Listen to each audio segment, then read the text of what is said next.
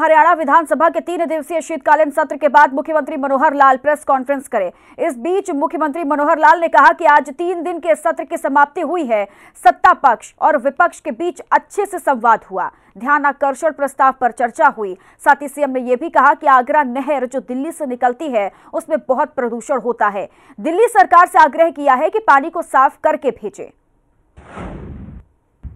मित्रों, अभी शीतकालीन जो हमारा सत्र है, तीन दिन का, आज जो समाप्त हुआ है और बहुत ही एक अच्छे प्रकार से सब डिस्कशन हुए।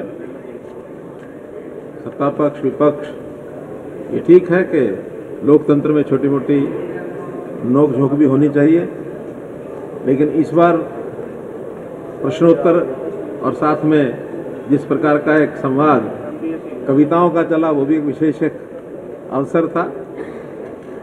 उसमें एक आनंद सरे सत्र में सदस्यों ने भी उसका लिया। और आज कुल मिलाकर के प्रश्नोत्तर के बाद ज़ीरो क्वेश्चन आवर जिसको, ज़ीरो आवर जिसको कहते हैं, और ज़ीरो आवर के बाद ध्यानाकर्षण प्रस्ताव, वो चर्चा उसके ऊपर हुई। आज आगरा नहर जो दिल्ली से निकलती है उसमें प्रदूषण बहुत मात्रा में है। उसके पानी का उपयोग हमारा फरीदाबाद जिला, पलवल जिला नू जिला, ये तीनों जिलों में पानी का उपयोग लोग करते हैं। लेकिन जिस प्रकार का प्रदूषण वहाँ होता है, बहुत ही एक, कठिनाई भरा एक जीवन व्यतीत करना पड़ता है। वहीं गुरुग्राम में खुले में नमाज़ पढ़ने को लेकर एक बार फिर विरोध शुरू हो गया है। बजरंग दल और हिंदू संगठन ने ऐतराज जताते हुए गुरुग्राम के डीसी को मुख्यमंत्री के नाम ज्ञापन सौंपा और मांग की है कि खुले में नमाज़ पढ़ने की अनुमति को रद्द किया जाए। अगर ऐसा नहीं हुआ तो बजरंग दल और हिंदू संगठन भारी विरोध करेगा। इस दौरान अगर शहर की शांति व्यवस्था भंग होती है तो उसकी ज़िम्मेदारी प्रदेश सरकार की होगी। विश्व हिंदू परिषद बजरंग दल ने आज ज्ञापन सौंपा है। खुले में नमाज़ अदा की जा रही है उस विषय में कि इस खुले में नमाज़ अदा करने का प्रकरण जो पुराना चला आ रहा है, पिछले पहले सत्तावन जगह होता था, उसके बाद छत्तीस जगह हुआ, अब छह जगह, छह सात जगह पर अब भी चल रहा है।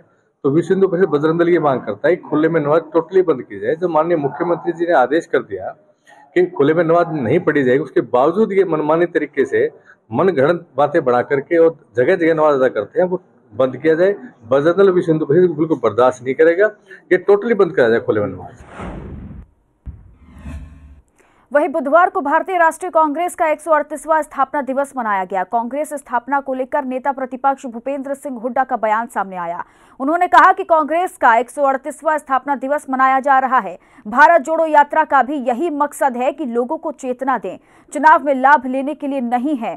हमने जितने मुद्दे उठाए हैं, उन पर हमारी सरकार में गन्ने के भाव में एक फ़ीसद वृद्धि हुई थी, जबकि बीजेपी सरकार में दो फ़ीसद प्रतिवर्ष वृद्धि हुई है। देखिए कांग्रेस आज से एक सौ सैंतीस साल पहले स्थापित हुई थी। और जो लक्ष्य लेके हुई थी कि हिंदुस्तान को आज़ाद कराना है, थोड़े से आदमी थे। और बढ़ते बढ़ते कांग्रेस के नेतृत्व में गांधी जी आए तो देश आज़ाद हुआ। और इसके दौरान बहुत सारे लोगों ने कुर्बानियाँ दी। और हर धर्म के आदमी ने स्वतंत्र संग्राम में हिस्सा लिया, चाहे वो हिंदू था, चाहे मुसलमान था, चाहे सिख था, चाहे ईसाई था सबने सारे जातियों ने लिया। बहुत सारे जैसे दलित भाई वो भी जेल में गए। और बहुत सारों को पता है, बहुत बहुत कुर्बानियाँ दी कांग्रेस के लोगों ने। बहुत का पता है बड़े बड़े नेताओं का।